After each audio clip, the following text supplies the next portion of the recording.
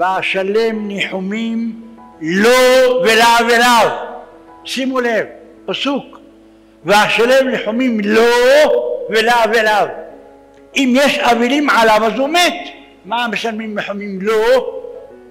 אומר בזוהר הקדוש, שני מלאכים מלווים את האדם יום יום. עושה מצווה הם רוקדים. לומד תורה הם שמחים. עושה עבירה בורחים. אתה שרוח, סליחה, הוא שרוח, בורחים, מתאבלים עליו. מסכן האדם הזה. חוזר בתשובה, אז חוזרים המלאכים. ואשריהם ניחומים לו ולאבליו. אבל אנחנו צריכים את זה, יותר מזה. ועשו לי מקדש ושכנתי בתוכם כל אדם ואדם ישראל משקל לשכינה. השכינה שוכנת בקרבו של אדם. עושה עבירה, השכינה מסתלקת. השכינה בורחת. אתה מבריח את השכינה, תעשה חשבון.